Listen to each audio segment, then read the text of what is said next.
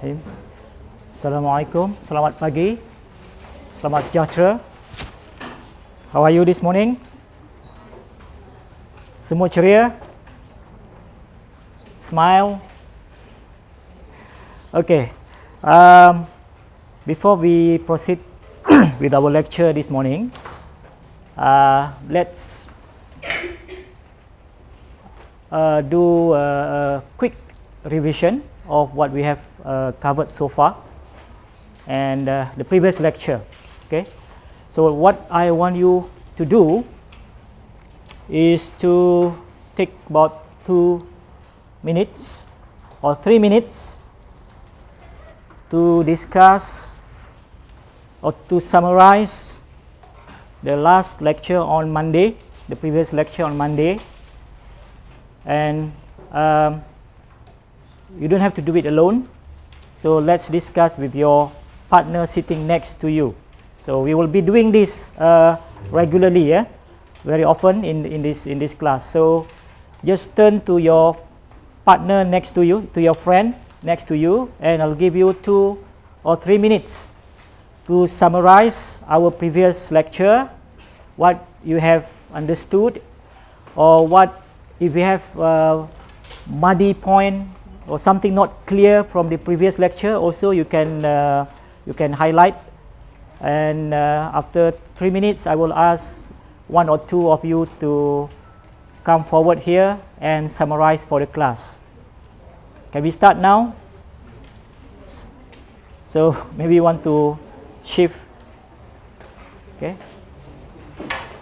Three minutes, not more than three minutes. You don't have a partner, maybe I have to sit next to you. or yeah. I, I asking my song whether she's coming. Huh? Oh, okay. Oh, it's a, your oh your Lifan's friend. It's okay. It's okay. So you just follow. You don't have to participate. No problem.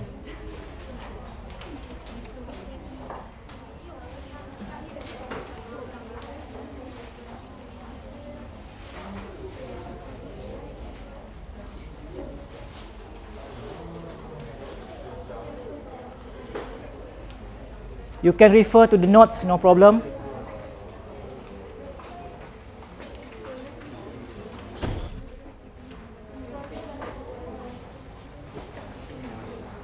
So we are um, try to summarize. We, we are trying to summarize our previous lecture.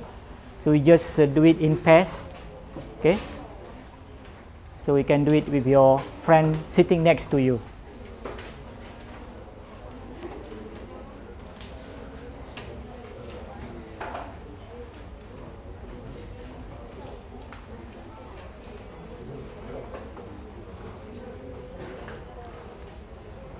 Mariam, bu depan.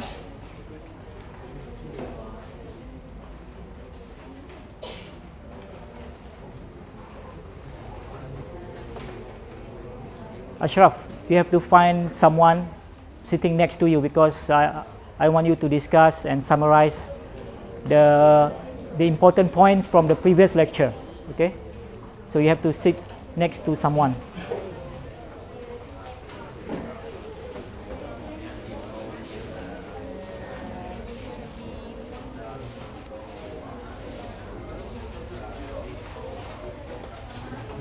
So you have to partner with Mariam. So basically try to uh, summarize, buat ringkasan apa yang ya apa ni yang you faham daripada previous lecture, important points from the previous previous lecture. And try to explain in two or three sentence, okay?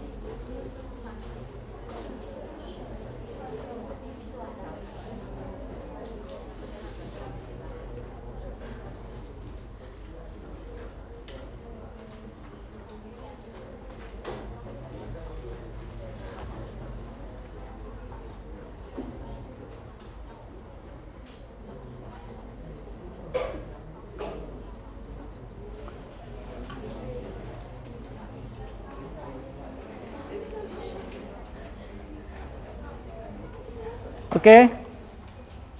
Three minutes up.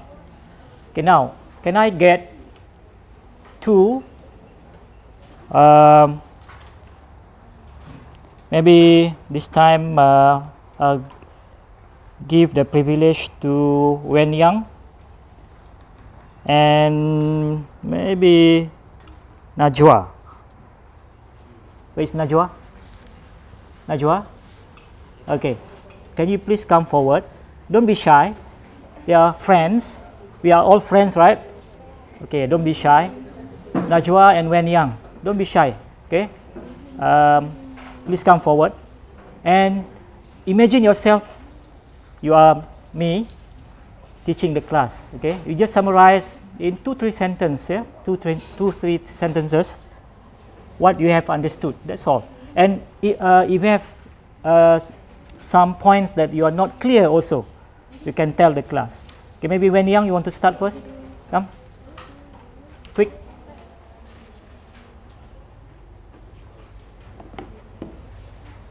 To start good morning class. Good morning, everyone. Last previous, eh, last lecturer, uh, the lecturer was teach about the New- Newtonian.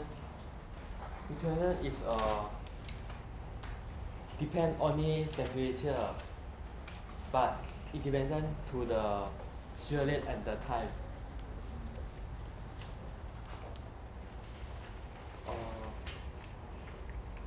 example of the Newton, Newtonian is uh, fruit juice and milk and honey. When the temperature increase, so the shear, shear stress is decreased. I think that's all. shear stress when, when the temperature increase Shear the viscosity. Oh, because the viscosity decrease. would decrease. Yeah, okay. At least uh, a few points there. Okay. You feel nervous? Yeah. Oh. okay. This is a practice good practice right? Okay. Thank you Wen Yang. Najwa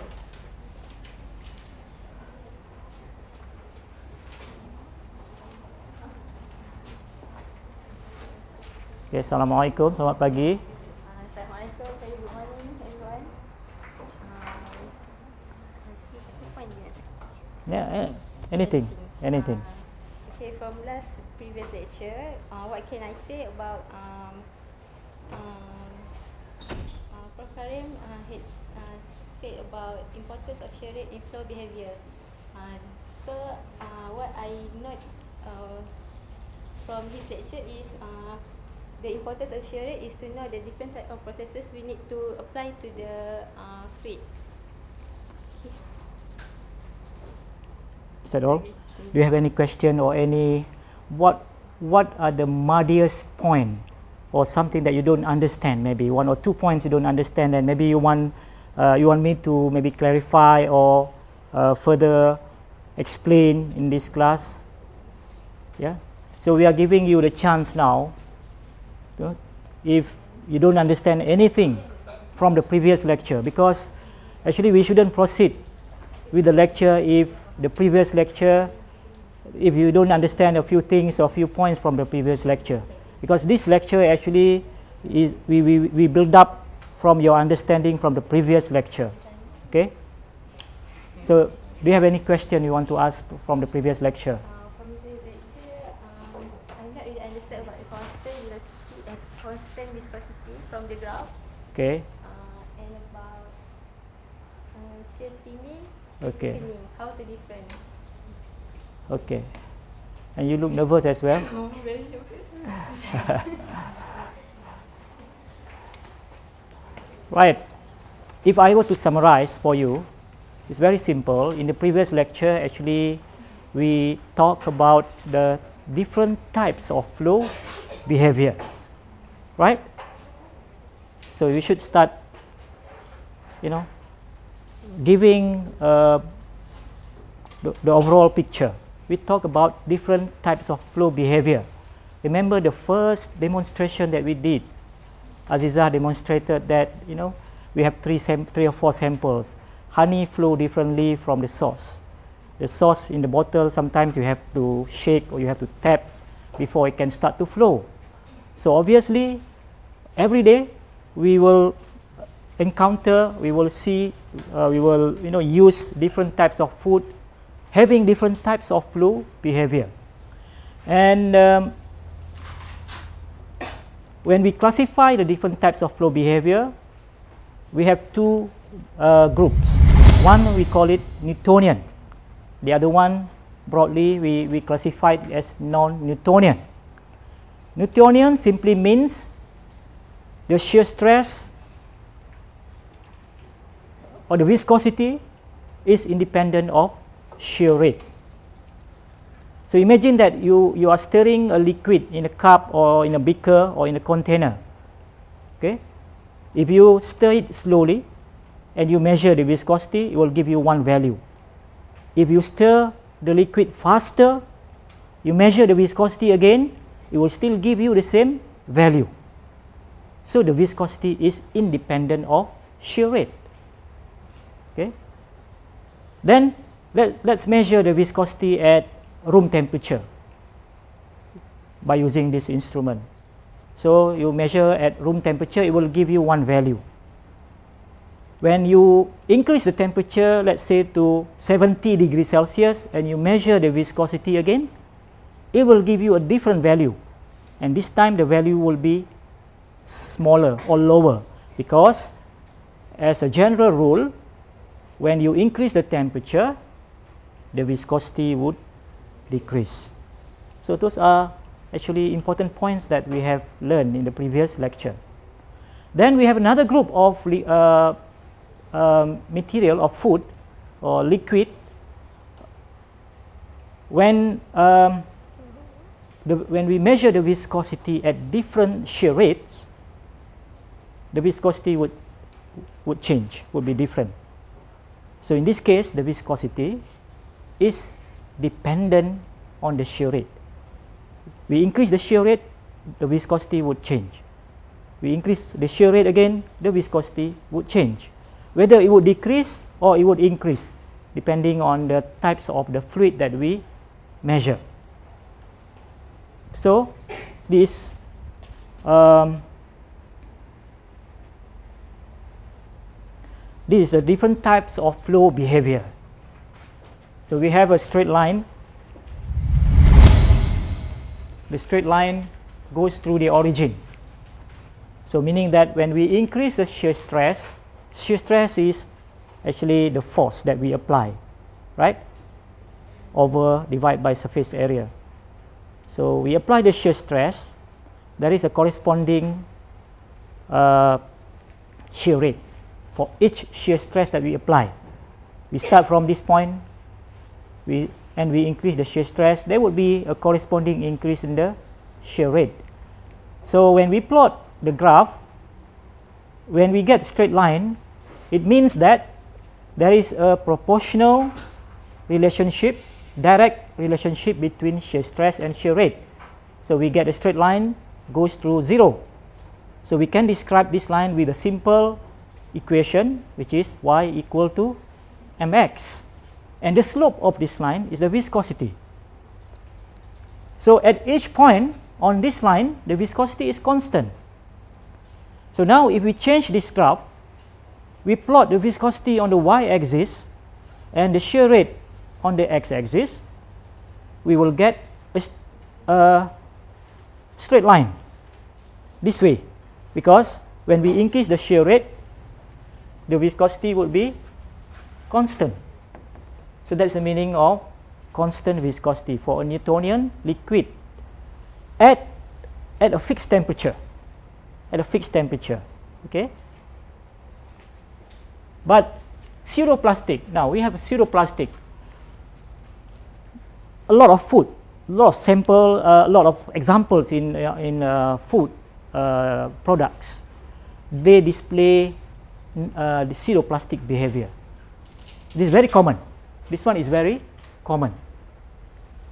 So here, when we increase the shear rate, uh, sorry, shear stress, there is more than proportional increase, more than proportional increase in shear rate.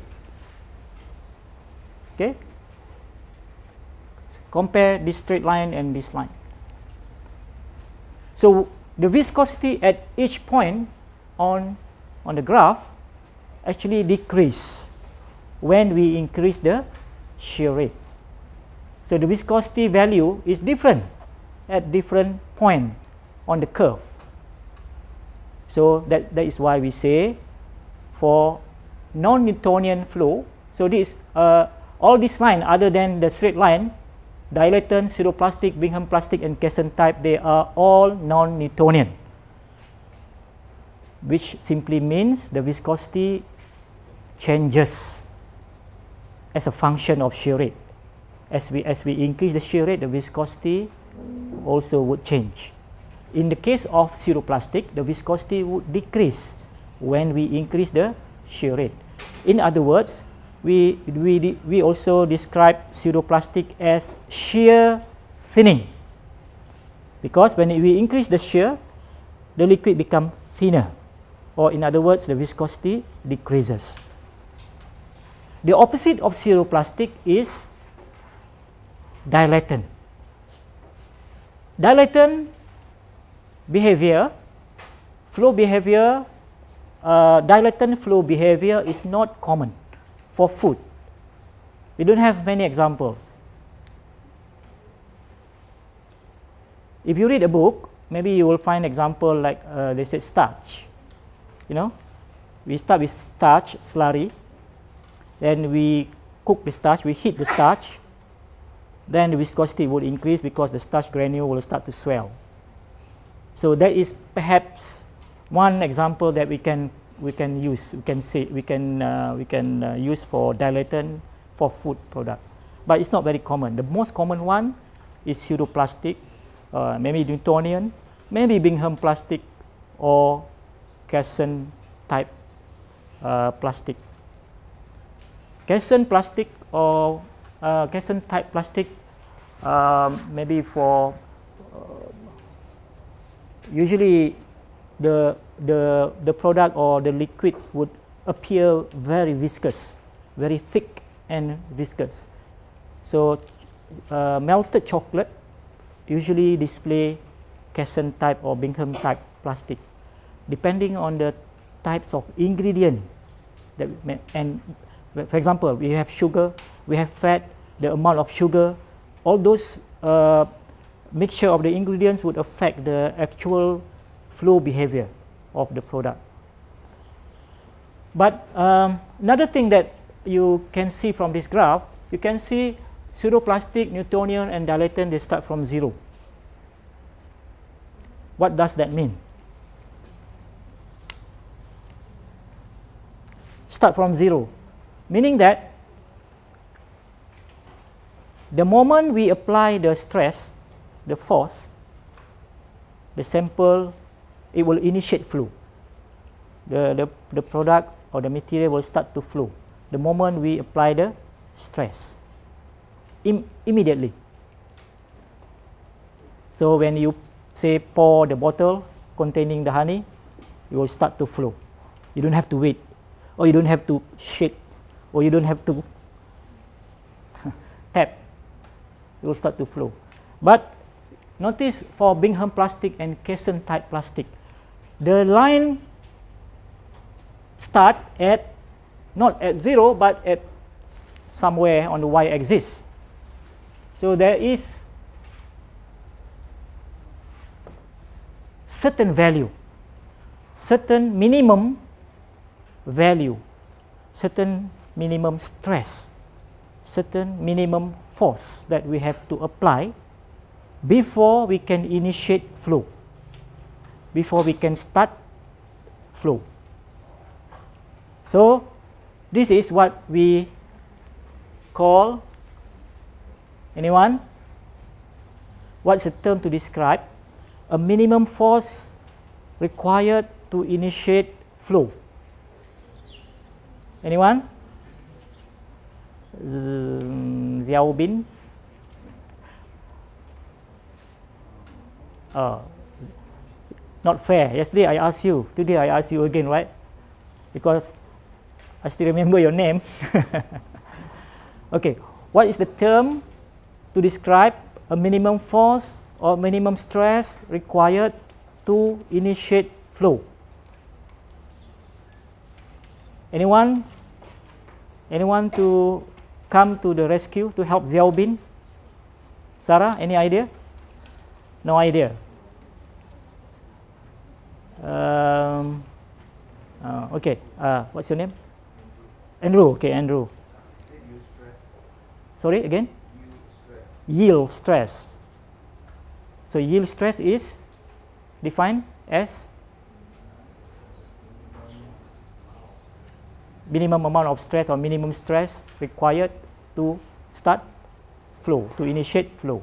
Just like, remember, the, the reason why we do the demonstration because I want you to remember in your, in your mind. So remember when we try to pour the sauce from the bottle, sometimes from your experience, maybe you have to shake or you have to tap, right? That is the minimum force required. Otherwise, the, the, the, if you don't apply that amount of stress, the sauce would stay forever in the bottle.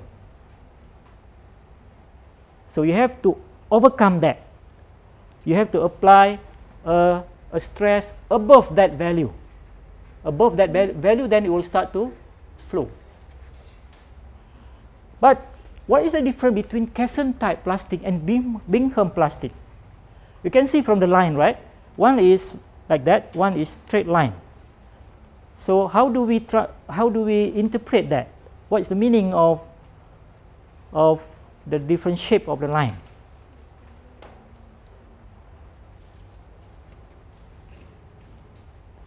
Anyone? I like to see volunteer rather than calling your name. But I have all the names here. Okay, this time, oh ada dua Farah. Farah Syamimi dengan Siti Farah.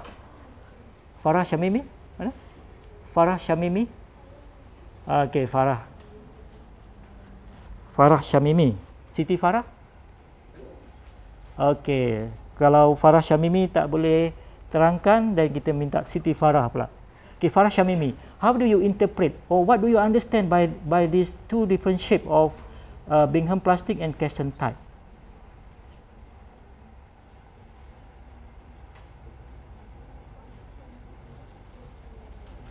louder? Don't don't be afraid you know. Don't don't be afraid to be wrong. It's better be wrong than just keep quiet and pretending that you know i want to teach you to be brave to be confident. Okay?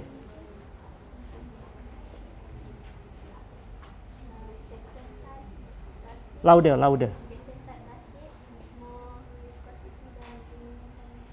More viscosity.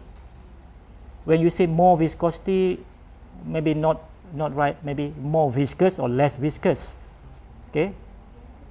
What do you mean by more viscous than the Bingham plastic okay I'll give you a hint I'll give you a hint now we have to apply a minimum stress to initiate flow to start flow then what happens now when it start to flow What happened to the viscosity? Decrease or decrease? Huh? It will. Someone raised it. Ah, ah, Kitty. Yes, Kitty. Louder, Kitty.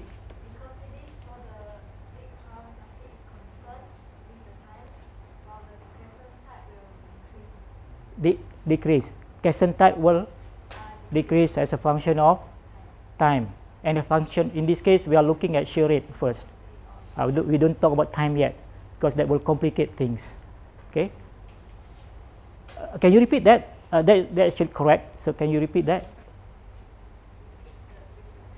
yeah what happened when uh, the the the fluid start to flow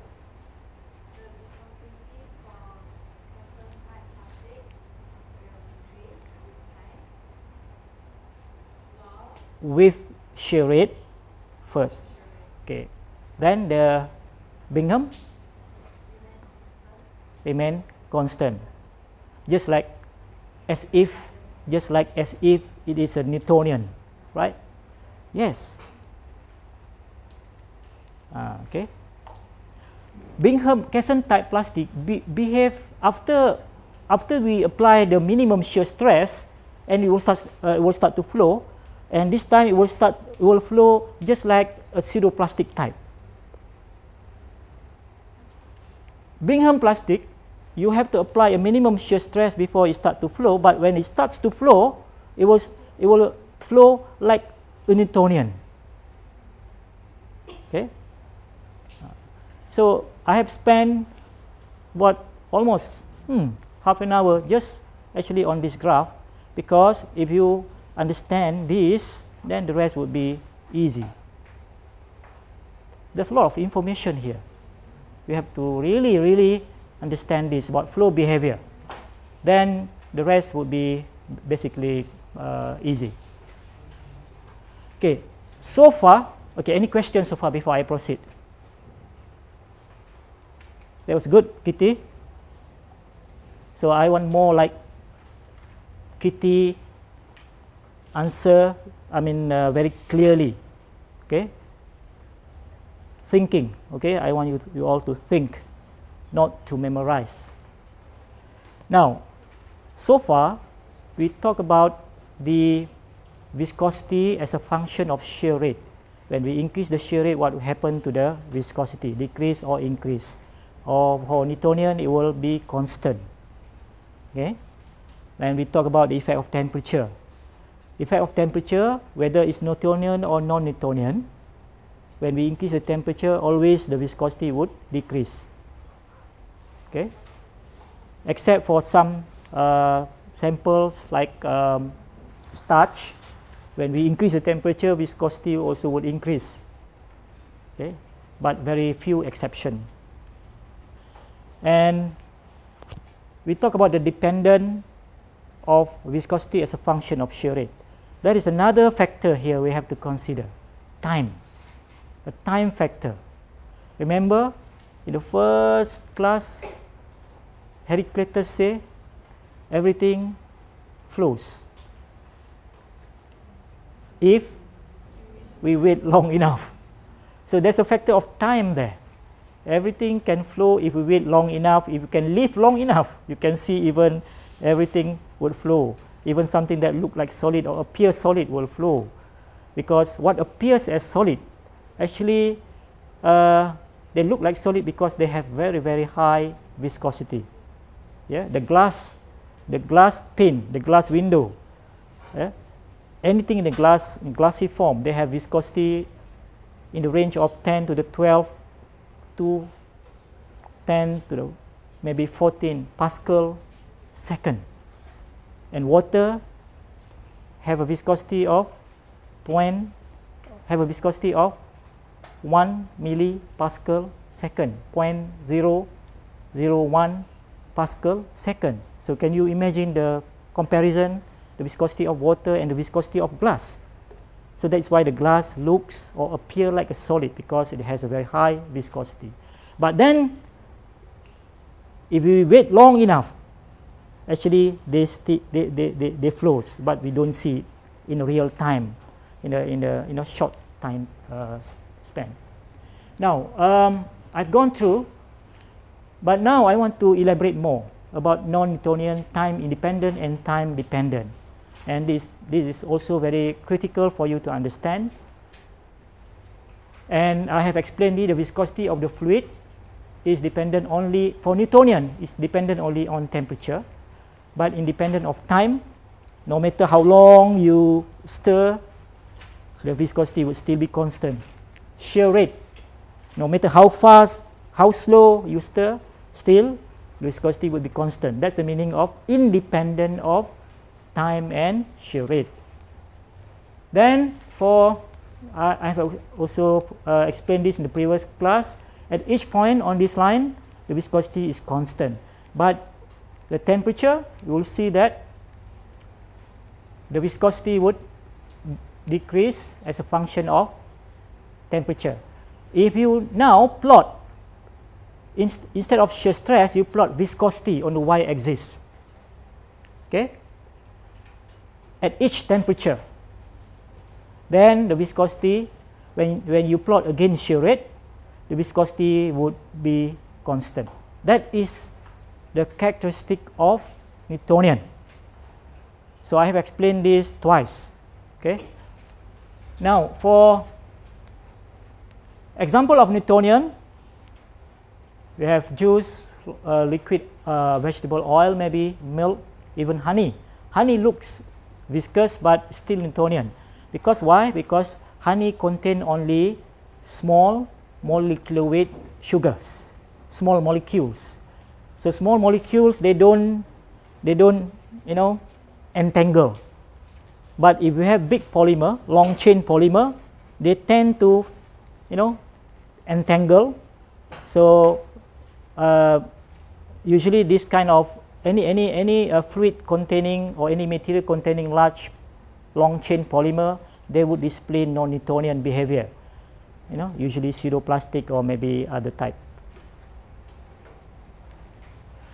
So the how to tell whether without using instrument how to tell whether the, the, the, the, the fluid or the sample or the product would display Newtonian or non-Newtonian. So generally, this is only general criteria. Generally, for Newtonian, you know, we have thin homogeneous liquid. Homogeneous means we don't have, you know, many things inside. We maybe just sugar. Low concentration of solutes or solids. Low concentration of low molecular weight solutes. So if we have these uh, characteristics or criteria, then most likely the sample would display Newtonian behavior. Non-Newtonian. So non-Newtonian is the opposite of Newtonian, of course. So for Newtonian, the viscosity is independent of shear rate. For non-Newtonian, the viscosity is dependent on shear rate.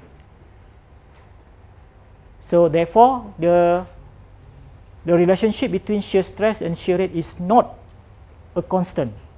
It's not a straight line through the through zero zero.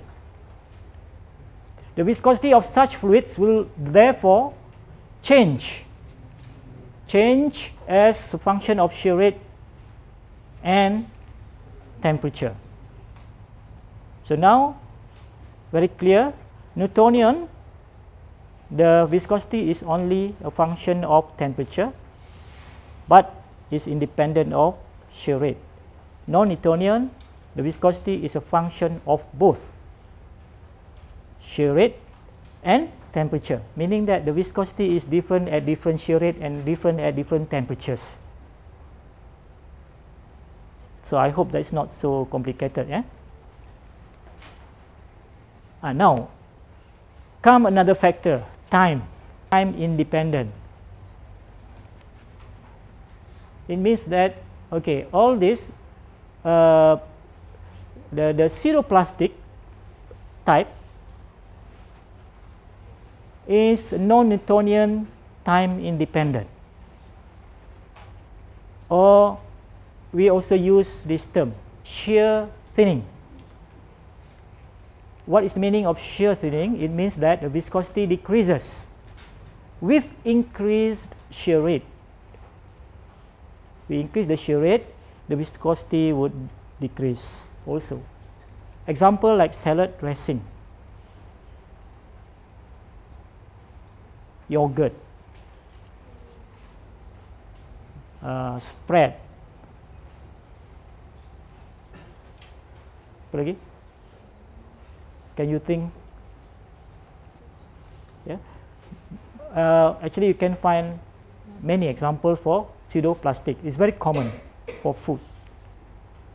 Shear thickening also come under this group, non-Newtonian time independent. This is the opposite of shear thinning. But as I mentioned earlier, it's not very common. So we don't have to really worry about dilatant when, when we talk about food rheology. Uh, our mainly we, we talk about Newtonian and we talk about pseudoplastic or the Bingham or Casson plastic. But dilatant is not very common. It's more for non-food type. Plastic.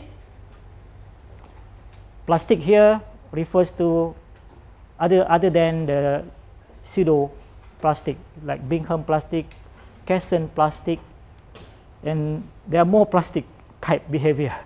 But uh, if you read the book, there are many more actually, but maybe we just focus on a few. So any um, uh, the, the plastic type like Casson and Bingham exhibits yield stress. So we have defined the yield stress, which is a certain shear rate, or maybe to make it more complete, uh, a minimum shear rate, or a certain minimum shear rate. Sorry, shear stress. We talk about shear stress must be applied before flow occurs. So usually uh, this the, the, the, the material that display yield stress appears very thick. When we look at it, it appears very thick. Yeah. So, example like tomato paste or some uh, tomato sauce, chili sauce. Yeah. What about things like peanut butter? yeah, jam. Those are very thick, almost maybe we can say like a semi-solid. So even if you try to pour the peanut butter from the bottle and you try to tap, tap, tap, it, it won't flow. So you need to get you know, a spoon or something to scoop it, right? Scoop it, and that is the minimum stress required. Of course, we can measure that by using a rheometer. We can measure. So this is time independent. This one is uh, okay, still time independent. So uh, what we can say or what we can summarize, the viscosity of the fluid is independent of time, but dependent on temperature and shear rate. Um, what, what is actually the meaning of independent of time? We will see next. Eh? But for now, uh, maybe we just uh, take this. Shear thinning time independent okay? or pseudo plastic. Now, this, this line actually should start here but again, because I transfer the PowerPoint from Windows to Mac, so lari sikit. Should start from here. That's a pseudo plastic, right? So the shear stress against shear rate. When we plot the shear stress against shear rate, it looks like this. When we plot, so at each point, we calculate the viscosity, okay? We calculate the viscosity here, here, here, and now we convert this graph into this form. We plot the viscosity against shear rate. And we can see clearly now what's the meaning of shear thinning. Because as we increase the shear rate, the viscosity would decrease. That is shear thinning. Up to this point, clear? Because next I want to show, I want to explain the meaning of time independent and time dependent. But if you don't understand this, no point continuing. Any question?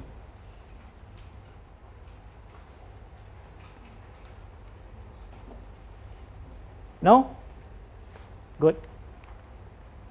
Now, shear thinning, time independent, we plot the viscosity at this point.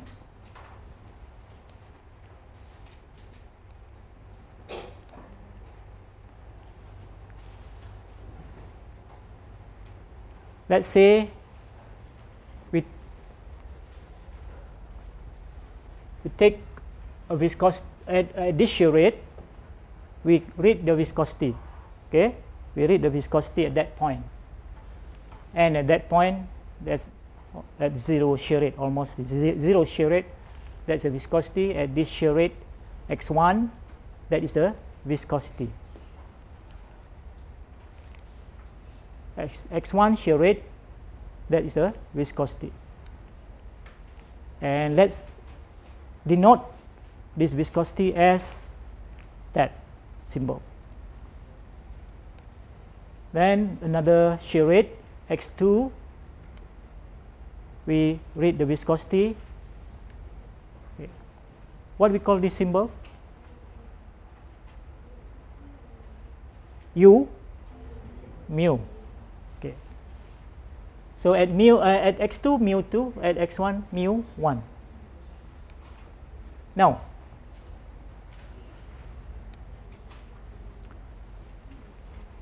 this is a viscosity against shear rate.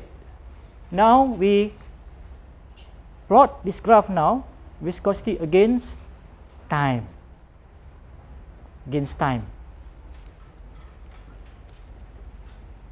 and when we at x x1 shear rate if we carry out this experiment separately now okay this is a separate experiment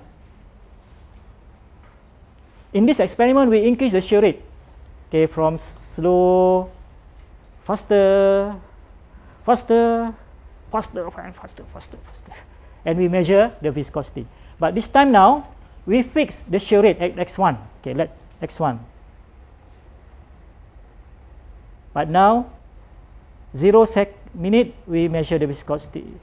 1 minute, we measure the viscosity. 5 minutes, measure. 10 minutes, measure. 15 minutes, measure. But it's constant. The shear rate is constant. Okay? And we will see that the viscosity will be constant as a function of time.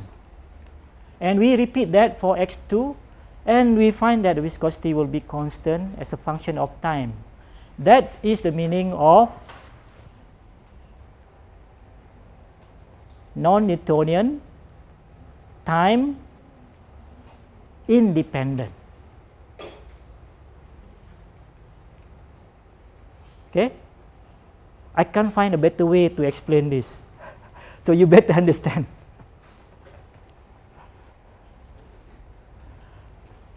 You'll find there's no single book will find the way I explain. So I have to crack my head how to make it easy for the students to understand. Can you find any book that explain this? Except my book which until now I, I, I still not manage, I have not managed yet to complete the whole book. So I don't know when it's going to be published. Now, what about, I have a few more minutes. Okay. Shear thinning time dependent. So I, I just want to finish with this one. Let's we repeat the same experiment again. Okay. So at x1 shear rate, we carry out separate experiment now yeah, constant shear rate, then we measure the viscosity now as a function of time. 0 minute, 1 minute, 5 minutes, 10 minutes. Yeah. But this time, we find that the viscosity changes as we increase the time. And we repeat again at x2, the viscosity changes. So, for this one, it's a shear thinning non-Newtonian, just now is a shear thinning, time independent or we call it pseudo plastic. And this one is a shear thinning but time dependent because the viscosity changes as a function of time. And we give a specific name for this which is thixotropy. Okay, I'm happy now because I think I have managed to explain to you clearly, but I'm not sure whether it is clear to you. So please read more, and if you have any questions in the next lecture, please ask. We repeat the same exercise every day, every you know, every lecture. I'll get uh, you know one, uh, one, or two of you. First, I'll let you discuss. This is called this this uh, technique is called think, pair, in pair, and share. Then you share with the class. So this now has become a favorite uh, method for me to get you to talk and to think. Okay. So if you have any question next week on Monday, please, and I'll get one or two of you to explain again this thing to the class and see. You know, the best way to learn is to teach. The best way to learn is to teach. So if you teach your friend, you'll find their understanding will increase. And to teach is to learn twice. Best, the best way to learn is to teach. And to teach is to learn twice or more. Okay? Thank you very much. I'll see you on Monday, inshallah.